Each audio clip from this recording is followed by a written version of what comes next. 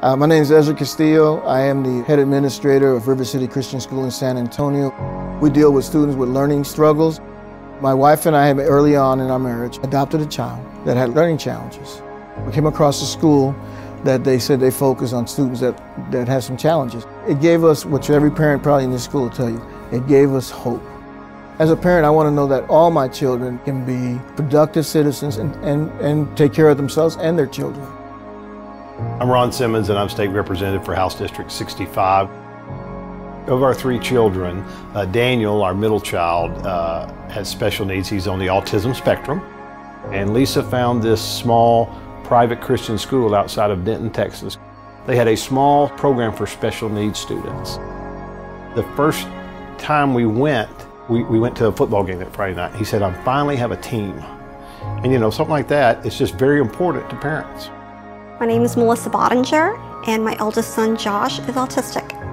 He didn't have the ability to start trying to work on himself while trying to cope with the other kids that didn't have his problems.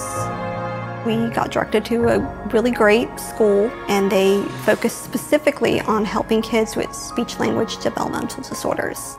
I am immensely grateful for it every single day. I'm, this is something that's going to change his life.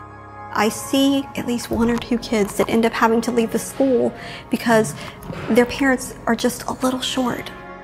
And if they got a little bit more, then they would be able to keep their kid in that environment. My name is Rebecca Hucker. I was born with a genetic condition called Turner syndrome.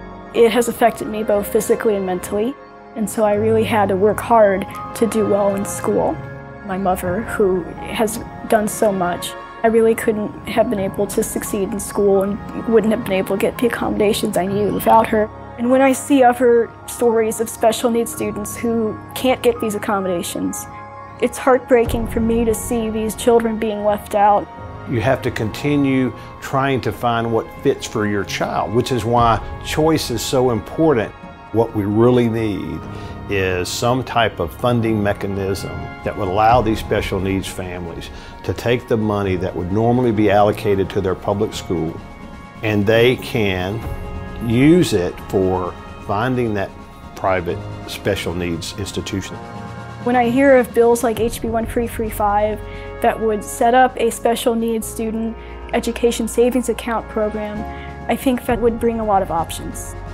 The educational savings account would be a godsend because they would actually have the ability to take their child to an institution that would help their child.